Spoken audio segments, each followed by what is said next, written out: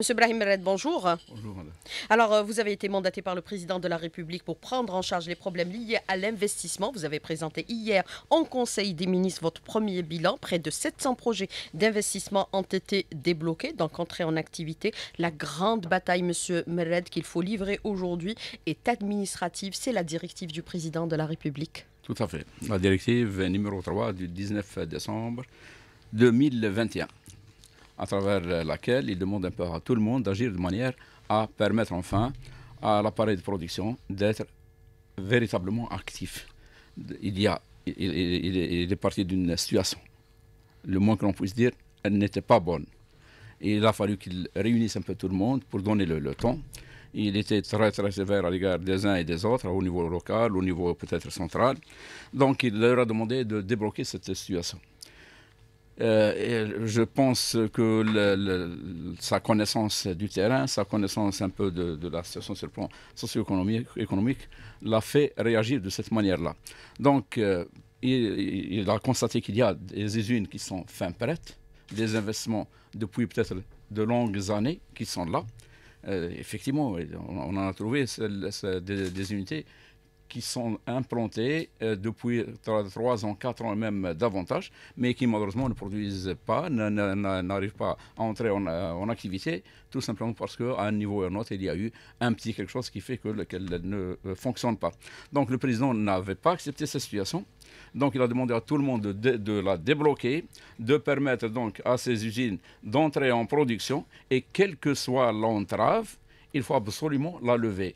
Il ne s'est pas limité à cela il était à l'égard un peu de l'assistance, euh, très, très, un, discours des plus euh, forts, mais, il ne s'est pas limité à cela. Euh, dans la mesure où nombreux sont les responsables locaux qui, pour un petit peu, disons, mm, ne pas agir, ne pas le, faire. certains évoqué l'ancrage juridique, je ne sais pas quoi. Il a été donc jusqu'à signer cette instruction qui libère un peu tout le monde. Et depuis, c'est véritablement une course au niveau des, des, des wilayas, c'est une véritable émulation euh, à chacun de montrer qu'il est là pour débloquer précisément le maximum d'unités. C'est pourquoi nous avons euh, maintenant, euh, sur les 877 projets qui ont été recensés, plus de 670 qui ont été précisément ouverts et qui vont commencer à produire, à employer du monde, à créer de l'activité, à créer de la, de la richesse. Et c'est vraiment salutaire. Alors 670 projets ont été débloqués, mais le président a ordonné plus de détails, plus de précisions sur la nature des investissements et leur impact socio-économique. Il faut désormais mettre en œuvre une cartographie précise de l'investissement avec des chiffres exacts. La statistique est importante dans le contexte. C'est ce qu'il nous a demandé hier en Conseil des ministres. J'ai eu cet honneur donc de présenter le, un premier bilan. Euh, que vous allez présenter que je tous vais les conseils des ministres. C'est ce qu'il m'a demandé en effet, mais avec bien plus de détails, avec de fins détails, dans la mesure où il cherche à connaître par wilaya le nombre donc d'unités ouvertes ou réouvertes, le, la, nature des, contraintes, le euh, volume, disons la nature, la, la filière précisément, la filière d'activité, le nombre d'emplois créés, le, coût, de, il a été jusqu'à vouloir connaître le coût de l'investissement en dinars et en devises. Donc il ne s'est pas limité à, cela. Combien d'unités sont ouvertes C'est ce que j'ai présenté hier, mais ce n'était pas assez. Il voulait, il voulait, aller dans le détail. Vous le connaissez, notre président. Il cherche précisément à ce que les choses se fassent dans la clarté, dans la précision, à ce que tout un chacun prenne ses responsabilités. Et bon, euh, en tant que médiateur, c'est un insigne honneur euh, que de, m'avoir confié un petit, euh, ce, dossier. Et moi et mes délégués au niveau du Wilayat, nous, nous, sommes donc impliqués grandement et nous allons agir de manière à ce que tous les 15 jours, nous, informerons, et Monsieur le Président, les membres du Conseil de, euh, du Conseil des ministres et euh, avec l'opinion publique et à travers eux l'opinion publique donc de ce qui se fait en la matière. Alors informer aussi l'opinion publique, cela va consacrer la transparence, réinstaurer la confiance et éviter bien sûr des situations d'opacité. La confiance, j'estime qu'elle est déjà restaurée de par un petit peu le nombre d'investisseurs que nous recevons. J'ai reçu les, membres de la CAPC, j'ai reçu des, des investisseurs euh, à titre individuel. Nombreux sont ceux qui euh, m'ont sollicité. Nous continuerons à le faire. Nous avons reçu plus de 500 à travers la médiature au niveau, au, niveau, du siège et à travers, bien sûr, les délégués au niveau des wilayas, plus de 500 investisseurs. C'est tout le monde qui montre un petit peu sa satisfaction.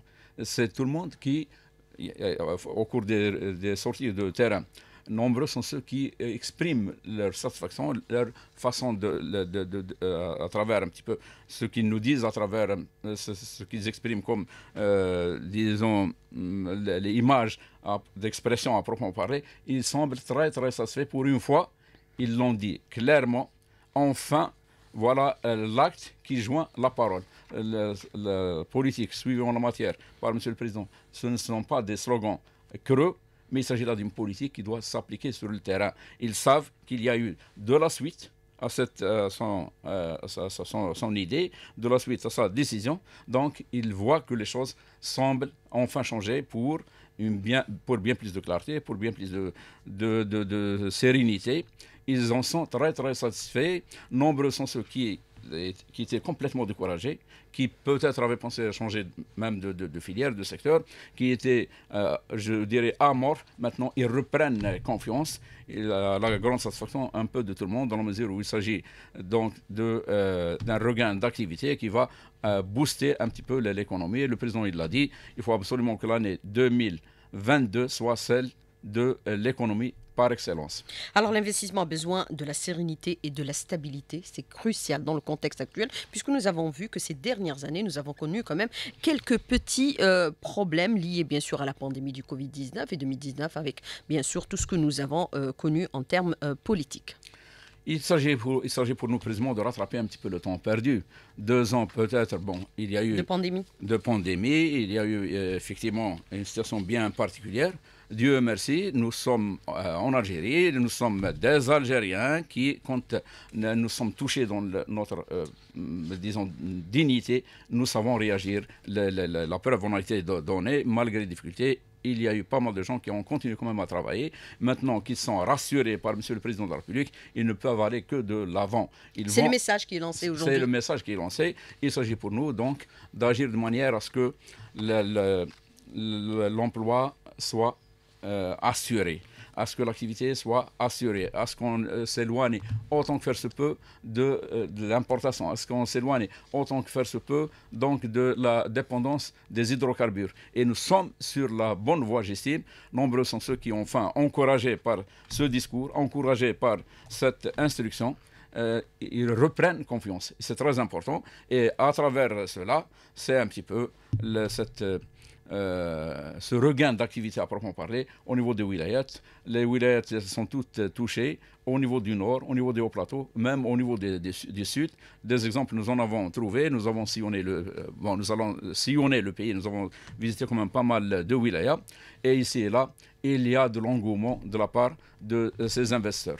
Alors, lors de la conférence euh, sur la relance de l'investissement, c'était le 4 décembre dernier, le président de la République a fait un constat sans complaisance. Il a été jusqu'à euh, considérer que le blocage de l'investissement est qualifié pratiquement de crime économique dans le contexte actuel, pour éviter bien sûr de sombrer dans une crise sociale. Ce discours a été suivi de l'instruction numéro 3, dont euh, vous avez fait référence, du 19 décembre dernier, qui a libéré un peu les responsables au niveau local. il faut bien sûr l'objectif aujourd'hui, c'est d'éviter de sombrer dans une crise sociale avec le nombre de chômage qui pourrait accroître euh, dans les euh, prochains mois, puisque déjà, avec les investissements qui ont été libérés, vous avez annoncé pas moins de 40 000 postes d'emploi qui ont été euh, libérés, près de 40 000 postes d'emploi qui ont été libérés. 39 262 exactement. Oui, en effet, il s'agit là d'une situation qui n'était pas convenable. Euh, on prend en considération les indicateurs euh, d'alerte. ben, Le président, euh, connaissant si bien le terrain, connaissant si bien la situation, il a trouvé inconcevable que des unités à travers le pays, des unités de production à travers le pays, sont implantées ici et là, mais restent fermées. Certaines bien équipées, des équipements importés de l'extérieur euh, avec de la devise forte. Mais malheureusement, les gens ne font rien tout simplement parce qu'ils ont peur qu'un jour, on vienne, on vienne donc les inquiéter. Les, les, inquiéter. Qui, c'est l'administration d'une manière générale. Pourquoi? Parce qu'ils ont implanté leurs usines, par exemple, au niveau d'un terrain agricole. Pourquoi? Parce qu'ils n'ont pas présenté au départ de permis de construire, précisément parce qu'ils savaient que jamais ce permis leur, leur sera donné, parce qu'ils n'ont pas suivi le, processus sur le plan, euh, disons, réglementaire, euh, ne tenant pas compte des instruments d'urbanisme, par exemple. Euh, parce qu'ils n'avaient pas tenu compte des exigences en matière de protection des citoyens, d'environnement, de dangerosité. Ici et là, il y a eu effectivement des, situations. Mais plutôt que de voir ces usines fermées, les gens attendre, les investisseurs attendre, le président était, j'estime, très réaliste, pragmatique. Il leur a demandé de tout ouvrir, de mettre en exploitation donc toutes ces usines à charge pour l'administration, qui était, il est vrai, absente il, est vrai que euh, l'investisseur a failli, mais l'administration a autant failli dans la mesure où elle n'était pas présente quand il a commencé à construire son unité, quand il a commencé donc à agir. Nombreux sont ceux qui sont sur le point donc d'ouvrir, mais ils se sont heurtés précisément à, euh, euh, enfin à l'administration qui est venue leur dire Monsieur, vous n'avez pas respecté les instruments d'urbanisme, vous, n'avez pas de permis de construire, vous avez modifié alors qu'il avait le permis de construire sans que euh, vous, vous référiez à l'administration. Il y a des raisons. Le président pragmatique il est, donc il ne s'est pas euh, trop de, donné de mal. Il leur a demandé d'aller à l'aval, d'ouvrir l'unité, de la mettre en exploitation, de lui permettre de créer et de l'emploi et de la richesse à charge pour les intervenants, donc au niveau d'une étape et d'une autre, donc de procéder à la régularisation précisément sans tenir compte un petit peu de cette situation. Et cela, pardon, oui. Mais euh, euh, c'est la volonté aujourd'hui, c'est de créer la richesse à travers tout le territoire national et ça va bien sûr en étroite lien avec, bien sûr, cette volonté du président de la République d'éradiquer la pauvreté à travers tout le territoire national.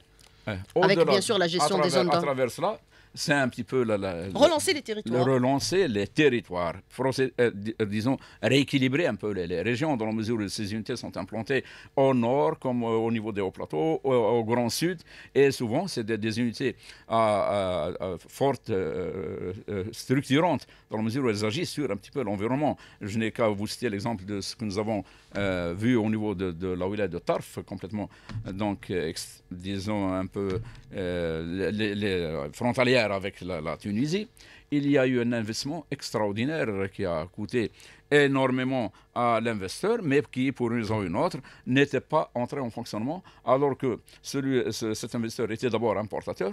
Il importait les besoins de l'Algérie en, ce qu'on appelle MDF. C'est des panneaux de, bois qu'utilisent les ébénistes, les menuisiers, un peu qu'on utilise dans le bâtiment. Ben, il, il s'est dit, pourquoi précisément pas nous? Qui devant le, le, produire. Il a essayé de, le faire. Il a terminé pratiquement son unité.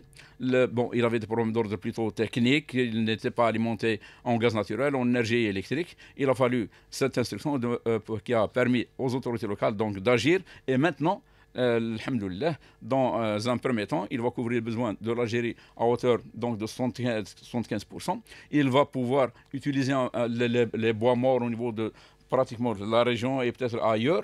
Il va jusqu'à pour permettre, pour pérenniser un peu la production euh, la, la, production, il va permettre euh, donc de euh, procéder à, l'implantation des arbres ici et là, alors qu'il y a un barrage vert qui se fait.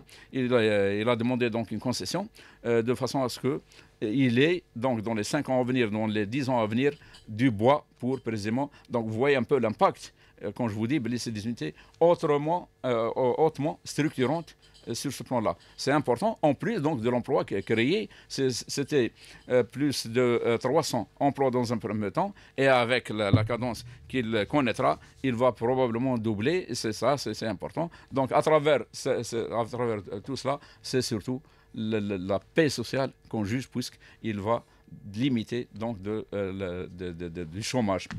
Puisque vous parlez de la paix sociale aujourd'hui, Monsieur euh, si on est moins ou moins d'un mois, vous avez réussi à débloquer autant de projets, est-ce que cela veut dire que ces problèmes pouvaient être dépassés par l'administration? Oui, en effet, à condition de fois qu'on ait affaire à des responsables réalistes, pragmatiques, comme c'est le cas pour M. le Président de la République. Il faut qu'on aille un peu dans la, direction, dans ce qu'il cherche à avoir, dans ce qu'il souhaite avoir. nous sommes, nous, tenus par des obligations de résultats.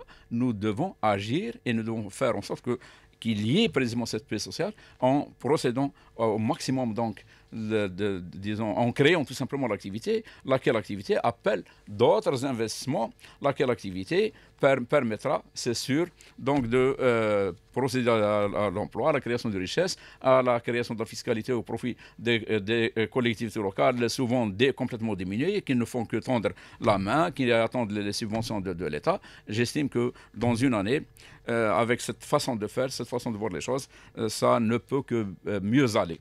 Alors. Euh, Monsieur Brahim Mered, nous avons abordé bien sûr euh, la médiation dont vous avez été euh, en charge par le président de la République qui vous a mandaté pour prendre en charge les questions liées au blocage de l'investissement.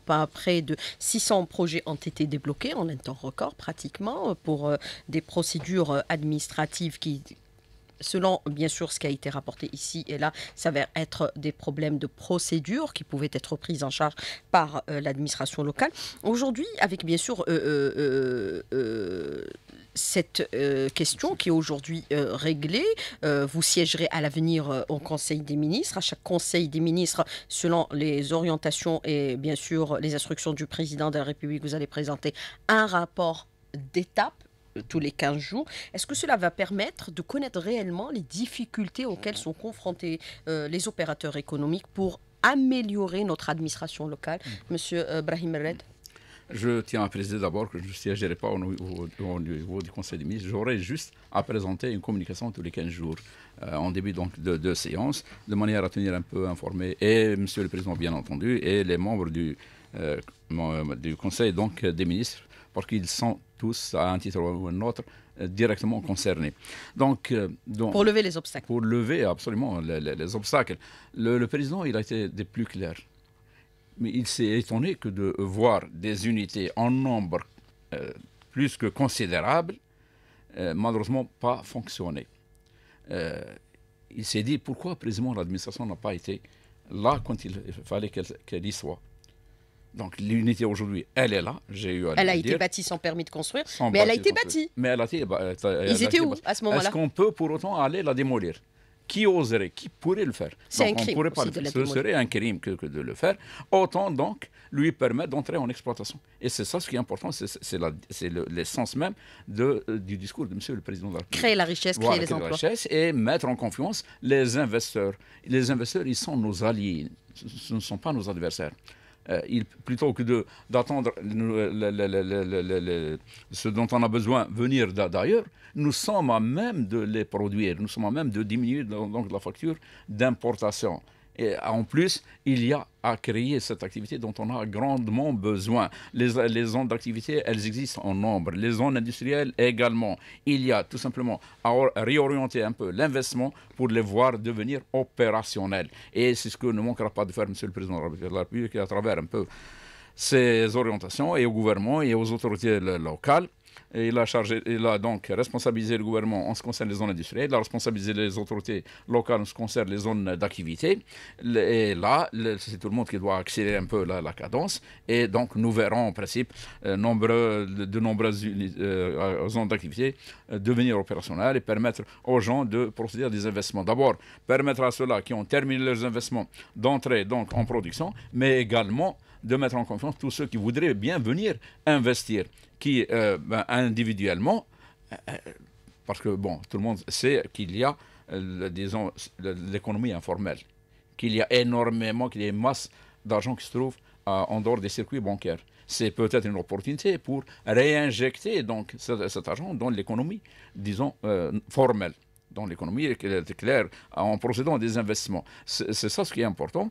Euh, je pense que les, euh, le patronat d'une manière générale, les investisseurs, les, investisseurs, ils ont compris le, message. Ils commencent à être, euh, disons, bien plus rassurés, sereins ils ne manqueront pas donc de s'inscrire dans cette dynamique, dans cette stratégie, dans cette façon de faire. Et c'est tout ce qu'on souhaite à notre pays, créer la, créer la richesse, créer la croissance et créer aussi à, l'emploi. Vous êtes fortement sollicité aujourd'hui, toutes les organisations souhaitent vous rencontrer. Monsieur Mered, vous êtes ouvert à toutes les personnes qui souhaitent vous rencontrer, aussi bien euh, de la société civile que euh, des personnes individuelles? C'est notre vocation en tant que médiateur de la République. Monsieur le Président, quand il avait pensé à recréer, c'est, peut parler ainsi. La médiation. La, médiature, donc le médiateur de la République, qui l'a placé sous son autorité directe, qui lui a permis d'avoir donc des représentants au niveau euh, local, au niveau des 48 wilayas, plus la, circonscription administrative de Debdeb, c'est pour précisément être à proximité, pour être euh, proche donc des citoyens, des organisations de masse, des comités de village, de, toutes, les, toutes les personnes qui se semblent être, euh, qui ont besoin de, de ce médiateur pour précisément poser leurs problèmes, leurs questionnements, pour trouver enfin euh, un, recours viable. Nous nous occupons de toutes les questions quand il y a des droits qui sont bafoués, quand il y a, euh, quand les, se sentent lésés, quand il y a des organisations, je dirais, de, bon, euh, par exemple des comités de village, des syndicats, pourquoi pas, ils sont d'abord associations. Quand les, gens euh, se présentent, il est tout à fait normal qu'on prenne en charge leurs préoccupations et qu'on agisse au niveau donc, des différentes administrations. Euh, euh, jusqu'à aujourd'hui, au titre de l'année 2021, nous avons donc reçu plus de 88 000 demandes en plus donc des audiences que nous leur accordons au niveau central et au niveau local. De ces 88 000, il y a 56 000 qui ont été traités et bien étudiés. 51 000 concernent les citoyens et 7 000 concernent précisément le service public. Quand je dis service public, ça peut être les comités de village, les comités de, quartier, ça peut être les associations, agissant dans un cadre ou dans un autre, euh, l'environnement et je ne sais quoi d'autre. Comme euh, nous sommes ouverts, nos portes sont ouvertes euh, à un niveau et à un autre nous devons absolument agir. disons, ce, n'est qu'enfin un petit peu le, si vous voulez, la réponse aux, engagements. Nous devons agir de manière à ce que les engagements de M. le Président de la République, les engagements de, de, M. le Président de la République, euh, euh, voulons faire du citoyen un petit peu, euh, disons, le centre d'intérêt au pluriel, il faut qu'il soit considéré, il faut que, il faut pas qu'il soit, euh, que ses droits soient euh, bafoués, il faut pas qu'il soit qu'ils sont lésés, il faut qu'on le tient, qu'on lui tienne la main, il faut qu'on aille avec lui là où il, vit. Précisément le problème de manière à débloquer des situations. Euh, oui, Monsieur Brahim Bred, je voudrais revenir avec vous sur le chiffre que vous avez annoncé. Vous parlé de plus de 56 000 requêtes de citoyens ont été euh, traitées, réglées à la fois, mais, mais euh, sans pour autant intervenir au niveau de l'appareil judiciaire. Non, non, non. Nous nous occupons essentiellement des recours non juridictionnels. La, la, la justice a un pouvoir autonome. Nous n'avons pas le droit D'interférer. D'interférer dans la mesure où il y a donc euh, il y a un processus qui est suivi. Euh, nous, au contraire, quand en principe quelqu'un nous sollicite, c'est peut-être pour éviter d'aller vers la justice dans la mesure où ce processus est euh, lent, peut-être coûteux pour lui. Donc nous devons agir de manière à ce qu'il n'aille pas à la justice nous pouvons éventuellement agir au, au, niveau donc, de l'exécution donc de la décision de justice. Le processus ayant été achevé, il y a une décision de dernier recours, mais il, voit, il voit que son, cette décision n'est pas appliquée sur le terrain. Il peut nous solliciter en ce sens. Sinon, quand c'est des recours juridictionnels, nous n'avons pas le droit de nous immiscer de nous interférer dans ce processus. Alors vous avez cette question de l'auditeur qui vous dit les entraves sont les textes réglementaires et lois et c'est ça qui a verrouillé aujourd'hui l'investissement parce qu'on a adopté des lois qui sont contraires à euh, la liberté d'investir. Quelle est votre réponse justement, Monsieur euh, Brahim Red? Est-ce qu'il va falloir aussi prendre en charge toutes ces questions aujourd'hui euh, liées à l'investissement sur le plan réglementaire et juridique? Éventuellement, vous avez certainement le constaté depuis que Monsieur le Président de la République a pris ses, fonctions, il n'a pas cessé donc de, voir un petit peu la contexture en ce qui concerne le corpus euh, juridique, le, législatif et réglementaire. À chaque fois, il demande donc à ce que des textes soient amendés, à ce qu'ils soient modifiés, à ce qu'il y ait des textes nouveaux. Il est tout à fait normal que s'il y a euh, cause d'une entrave quelconque, on va devoir peut-être modifier un peu l'ordre des choses. les textes de loi euh, euh, les règlements ne sont pas le, Coran. On doit les modifier au profit donc de la, bonne, la bonne cause. Euh, rien, bah, vous me donnez un peu l'occasion de vous dire que le, médiateur également est chargé quand il voit qu'il y a des problèmes récurrents qui reviennent en raison précisément d'une ambiguïté peut-être juridique, il peut aller jusqu'à proposer à ce que ces textes soient modifiés. Donc c'est dans le, texte fondamental de, du médiateur de la République. On peut aller jusqu'à proposer donc à ce que cette situation change quand c'est des problèmes vraiment récurrents. Bannir les procédures antérieures, de favoriser les amis au détriment de la majorité. C'est ça aujourd'hui la volonté pour bien sûr réinstaurer cette confiance, permettre à tout le monde d'investir sans avoir à recourir à certaines pratiques, c'est-à-dire qui sont illicites d'investir et de faire bien autre chose. Il n'est pas question de continuer à voir nos citoyens, euh, disons, endurer face à l'administration. L'administration doit être souple, doit être facilitatrice. Et nous devons agir de manière à ce qu'elle le devienne. C'est pourquoi il y a précisément des délégations au niveau des, des. Le médiateur seul au niveau central, il peut ne pas répondre un petit peu à, ce que euh, souhaiterait Monsieur le Président de la République. Il a donc des représentations au niveau des wilayettes qui sont euh, les délégués qui travaillent en étroite relation avec les wali, avec toutes les autorités au niveau local et moi-même au niveau central. Mais au départ, il y a eu quelques euh, petits problèmes dans la mesure où nos, nos saisines des différentes administrations on ne recevait pas de réponse, euh, disons, rapidement. Et il a fallu que M. le Président euh, donne des directives à M. le Premier ministre, lequel a euh, instruit tous les ministres et tous les walis à nous répondre dans des délais plus que raisonnables. Et ça a changé depuis. Dieu merci, c'est tout le monde enfin qui tient compte maintenant du rôle de la médiature et moi-même avec mes délégués qui, qui, sont de temps à autre qui viennent de temps à autre, nous leur demandons d'abord de se faire accepter par le citoyen. Pour se faire accepter, il faut qu'il soit convaincant, il faut qu'il sache communiquer. C'est très important. Il faut qu'il soit euh, accepté par l'environnement immédiat. Et les Wali et toutes les autorités qui sont là-bas, au niveau central, par tous les ministères, par des entités plus ou moins euh, similaires. Donc, il faut qu'on soit vraiment convaincant et qu'on se fasse accepter par un peu euh, tout le monde. Oui, pardon. Oui, allez-y. Eh, par euh, un peu tout le monde. C'est le rôle de la médiature. Et pour pouvoir donc qu'elle agisse, qu'elle soit un élément euh, vecteur en ce qui concerne un petit peu ce processus de changement, il faut absolument qu'elle soit euh, connue, qu'elle soit crédible. Alors, euh, vous l'avez déclaré, vous l'avez dit, il n'est pas normal aujourd'hui d'avoir des usines qui soient réalisées, qu'elles soient euh, à l'arrêt. C'est le même principe pour, par exemple, les usines dont les détenteurs sont actuellement poursuivis en justice. On va tout rouvrir. Monsieur Brahim Meret. Il s'agit là d'un processus un peu particulier qui est suivi, je suppose, par le président de la République, il a dit la dernière fois qu'il va être... par euh, le gouvernement, il y a des choses qui se, font. Je préfère ne pas un peu trop euh, manquant d'éléments de, de, réponse. Je préfère ne pas un peu trop entrer dans ce. Je risque de vous euh, disons, de dévier un peu de ce qui doit être notre, sujet de discussion aujourd'hui. Alors, droit au développement, mettre fin aux disparités régionales, c'est ça aujourd'hui la volonté des pouvoirs publics? Plutôt, oui. Valoriser les territoires à travers Valoriser le territoire les territoires, à travers les équilibres que nous devons absolument instaurer, revenir au réaménagement, de, l'aménagement du territoire, donner plus de, force donc à ces euh, grandes étendues que sont et les hauts plateaux, mais surtout le Grand Sud. Il y a des politiques conséquentes, euh, aller en profondeur jusqu'à, euh, disons, tenir compte de la dimension africaine. Euh, nombreux sont les, les, les, projets qui sont au niveau des zones frontalières, par exemple à Tambourasset, nous avons dû agir. Euh, je peux vous citer encore une fois ce, cet exemple que j'ai souvent cité, un abattoir qui était fermé. Et euh, nous sommes à Tambourasset. Pourquoi il était fermé? Parce que alors qu'il était propriétaire, on ne lui a pas donné l'autorisation d'exploiter parce que le terrain, l'abattoir se trouvait assis sur un terrain qu'ils ont considéré comme étant agricole, combien même il serait agricole.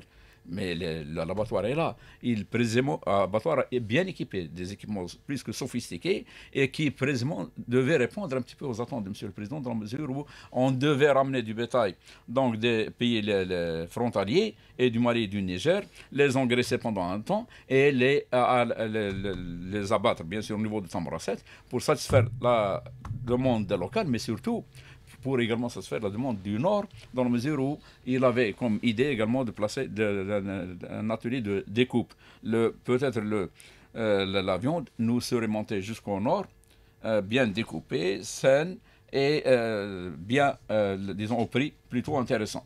Et eh ben, malheureusement, Sans recourir à son importation des pays très lointains, pour Des, bien sûr des importations d'appoint pendant euh, le mois de carême. Alors, Monsieur Brahim Red, je voudrais revenir avec vous sur cette question, bien sûr, de l'auditeur qui vous dit aujourd'hui L'administration, c'est le grand verrou. Est-ce qu'il va falloir aussi incriminer ou prendre des mesures particulières à l'encontre de ceux qui bloquent les investissements? Nous avons vu pour ceux qui, par exemple, qui pratiquent la spéculation, le président est allé jusqu'à euh, instituer une peine d'emprisonnement allant jusqu'à 30 euh, ans. Est-ce qu'on pourrait faire la même chose pour ceux aujourd'hui qui bloquent les investissements? Monsieur Brahim Red. Je pense que le président, lors de son discours du 4 décembre, euh, quand il avait présidé la, la conférence sur l'investissement, il a été des plus clairs. Il avait donné le temps. Il n'avait pas accepté que des blocages soient euh, observés à un niveau et à un autre. Il avait ordonné au Wali d'agir, d'être présent, de ne pas permettre, disons, ces déviations, malheureusement. Donc, euh, s'il l'avait dit, ce que cela pourrait être suivi des faits, à coup sûr. Il n'est pas euh, normal qu'après tant d'efforts, on accepte aujourd'hui à ce que, à ce que cette façon de faire perdure encore. Mais vous avez aussi parallèlement les gestionnaires qui invoquent la pénalisation de l'acte de gestion. Monsieur Brahim il, y a, il, y a un texte qui se prépare pour précisément lever la, pénalisation sur l'acte de gérer. Le, monsieur le Président il a toujours agi de manière à mettre en confiance le cadre, à quelque niveau qu'il soit les textes sont en cours de préparation, ça va euh, changer ce qui, importe pour nous, c'est la sincérité dans les actes. C'est quand il y a un responsable, il faut absolument qu'il mène sa mission jusqu'au bout, qu'il soit là. il est responsable. Bon, il n'en a pas besoin, il n'a qu'à se euh, retirer, tout simplement. Il l'a dit, le président. je suis là pour vous protéger. Alors, euh, vous avez cette autre question de l'auditeur qui vous dit le déblocage de certains projets d'investissement n'est qu'une première étape d'une longue bataille que l'investisseur doit livrer quotidiennement. Euh, qu'est-il prévu aujourd'hui pour veiller à la viabilité des projets dans le temps pour qu'ils se maintiennent? Parce que parfois, vous avez aussi d'autres entraves et d'autres blocages. Oui, probablement. probablement. Bon, l'administration, elle fera ce qu'elle doit faire de manière à ce qu'elle soit souple, de manière à ce qu'elle facilite un peu la tâche aux investisseurs. À charge pour les investisseurs également en tant que euh, à proprement parler, ce que je crois avoir dit tout à l'heure, donc d'agir de façon, au besoin, à proposer, à proposer ce qui peut leur permettre d'être là, d'agir dans la sérénité, d'être coopératif. Euh, donc les portes sont ouvertes et nous allons travailler ensemble. Ce qui importe pour nous, c'est la création de richesses. Ils peuvent vous saisir, Monsieur euh, Brahim Red. Oui, ce qu'ils font. et comment vous saisir? Vous avez cette question de l'auditeur. Comment vous saisir? Vous saisir par écrit ou on se présente au niveau de vos Ils ne saisissent par écrit. Ils nous posent leurs problèmes, et qui sont souvent exemples euh, disons, à, instruire et à suivre, ils, euh, ils viennent, ils, viennent ils, euh, ils, sont souvent reçus et nous agissons de manière à ce que ces problèmes soient aplanis, ces difficultés souvent récurrentes en effet, soient au niveau du secteur bancaire peut-être, lesquels ne sont pas octroyés à, temps voulu, au niveau des procédures, au niveau des douanes, au niveau de certaines administrations. Nous sommes là précisément pour poser les problèmes, pour agir avec les uns, avec les autres. Notre mission, c'est de d'assouplir les procédures. Nous sommes des facilitateurs. Alors, si le président de la République a soulevé la question des chiffres, des statistiques, la numérisation, c'est le seul moyen aujourd'hui de consacrer la transparence à, tous les niveaux, même au niveau local, Monsieur euh, Brahim Red. Oui, à tous les niveaux. D'ailleurs, c'est ce que j'ai eu à proposer hier en Conseil des ministres. c'est ce que j'ai eu à proposer hier précisément au Conseil des, ministres. Euh, pour régler tous ces problèmes, il faut absolument que la numérisation soit notre objectif premier. C'est ce que M. le Président avait de, demandé et toutes les administrations, elles sont en train d'agir dans ce sens, y compris au niveau de la médiature. Nous cherchons précisément à ce que les requêtes soient précisément euh, numérisé, à ce que tout un chacun puisse suivre un petit peu le cheminement de sa requête, de sa demande, et ce sera le cas au niveau de toutes les administrations. C'est un petit peu la bataille que nous devons absolument mener et gagner. Alors, euh, il n'y a pas de chevauchement euh, de la mission du médiateur avec bien sûr les autres instances, puisque vous êtes au niveau supérieur sous l'égide du président de la République. Nullement. nos attributions sont bien définies par le texte pour son création, son création du médiateur de la République. Nous sommes là pour précisément en relation avec les différentes administrations, agir de manière à ce que le citoyen ne connaisse plus de problèmes. Le citoyen, c'est le centre d'intérêt. Il faut que ses droits soient respectés, qu'il n'y ait pas euh, donc de, que ces droits ne soient pas euh, bafoués qu'il soit considéré, qu'il soit considéré comme tel, citoyen avec un C majuscule. Alors, euh, vous avez autre question, par exemple, de l'auditeur qui vous dit aujourd'hui, il y a eu bien sûr euh, révision de certains nombres de dispositions conformément aux engagements du président de la République, même lors de sa campagne électorale, de lever par exemple les obstacles à l'investissement, de supprimer la règle 49-51 euh, pour la maintenir seulement pour les secteurs hautement stratégiques. Mais vous avez au niveau local, on invoque toujours la règle des 51-49. Que se passe-t-il aujourd'hui au niveau local, Monsieur Ibrahim Il y a une incompréhension des textes non, mais plus maintenant. Mais je pense, euh, je pense que au contraire, c'est tout le monde qui s'inscrit un petit peu de cette, dans cette dynamique, dans cette stratégie. Il n'est pas question que quelqu'un à un niveau et un autre, au niveau d'un autre, agisse en dehors des, cadres qui sont normalement euh, prescrits. La, politique de, de, M. le Président est aussi claire. C'est tout le monde, au contraire, qui va dans le sens de ce qu'il voudrait. Alors, il faut promouvoir rapidement le code de l'investissement, Monsieur euh, Brahim Red, pour oh. la relance effective de l'investissement dans notre pays. On en a besoin, grandement besoin. Et le code de l'investissement et certains autres textes euh, qui sont en préparation euh, au niveau donc du gouvernement. Je pense que ça assinera un peu le climat des affaires d'une manière générale. Euh, euh, ça profitera et aux investisseurs et un peu à la population d'une manière générale, puisqu'il s'agira pour nous donc d'avoir des possibilités d'emploi, de pouvoir enfin créer de la richesse, de euh, s'éloigner au maximum qu'on peut donc des importations de, l'extérieur, de pouvoir créer ses propres produits, d'agir pour l'export à l'international. Ben c'est au contraire, c'est l'année 2022, je tiens à le rappeler, elle sera une année exceptionnelle sur le plan économique.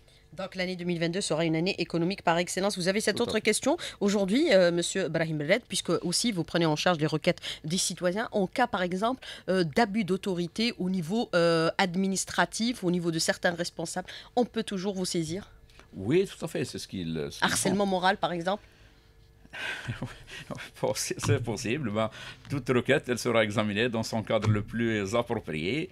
Et ben, nous devons agir et n'accepterons pas ce que le, citoyen euh, soit considéré moins que rien, ce qu'il soit respecté, que ses droits soient euh, respectés absolument. D'accord, faire euh, valoir bien sûr les droits des citoyens en milieu également euh, professionnel. Autre question que je voudrais aborder avec vous, c'est la dernière de l'auditeur qui vous dit aujourd'hui, Monsieur euh, Brahim Mred, vous saisir, est-ce que, c'est-à-dire, on a des réponses en temps record ou réel? Parce que des fois, il y a des lenteurs aussi par rapport au traitement de certains dossiers. Tout dépend de la nature un petit peu des requêtes. Il y a effectivement certaines requêtes qui sont liées un petit peu au problème foncier et qui nécessitent donc des investigations. Pourtant, nous avons du foncier. Il existe le foncier dans notre pays. On a un pays très vaste. Non, non, non. Quand vous dites requête, bon, nombreux sont ceux qui, malheureusement, rien qu'hier, j'ai reçu une dame qui a tous ses droits avec ses, euh, des, papiers vraiment convaincants. Je ne citerai pas la, la, la, la wilaya, d'où elle est originaire, mais malheureusement, au niveau de la conservation foncière, on refuse de lui publier son acte.